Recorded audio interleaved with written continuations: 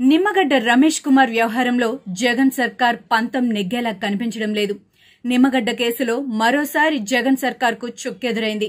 High court తీర్పుపై stay ఇచ్చేందుకు supreme court నిరాకరించింది. రాష్ట్ర ఎన్నికల కమిషనర్ పదవి ఖాళీగా ఉండకూడదని కాబట్టి హైకోర్టు తీర్పుపై స్టే ఇవ్వాలని కోరుతూ ఏపీ ప్రభుత్వం తరపు న్యాయవాది సుప్రీంకోర్టును ఆశ్రయించారు. దీనిపై స్పందించిన సుప్రీంకోర్టు రాష్ట్ర ఎన్నికల కమిషనర్ను పునర్నియమించాలంటూ హైకోర్టు తీర్పు చెప్పినందున ఆ పదవి ఖాళీగా ఉన్నట్టు ఎలా అవుతుందని ప్రశ్నించింది.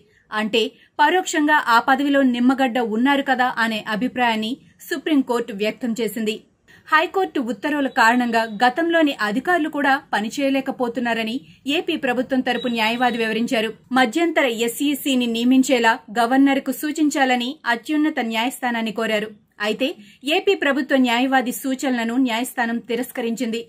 గవర్నర్కు ఈ దశలో సూచన చేయలేమని చీఫ్ జస్టిస్ ఎస్ఏ బోబ్డే తేల్చి చెప్పారు. ఏపీ ప్రభుత్వం స్టే ఇవ్వాలని కోరగా దాన్ని తిరస్కరించిన సుప్రీంకోర్టు తదుపరి విచారణను మూడు వారాలకు వాయిదా వేసింది. రాష్ట్ర ఎన్నికల కమిషనర్గా ఉన్న నిమ్మగడ్డ రమేష్ కుమార్ కోవిడ్ కారణంగా స్థానిక ఎన్నికలను వాయిదా వేశారు. ఈ విషయాన్ని సీరియస్గా తీసుకున్న ప్రభుత్వం ఆర్డినెన్స్ తెచ్చి ఆయన్ను పదవి నుంచి తొలగించింది. దీనిపై నిమ్మగడ్డ హైకోర్టును ఆశ్రయించారు.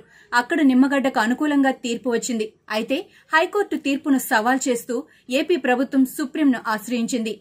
హైకోర్టు తీర్పుపై స్టే ఇవ్వాలని కోరింది. కానీ స్టే ఇచ్చేందుకు సుప్రీంకోర్టు నిరాకరించింది.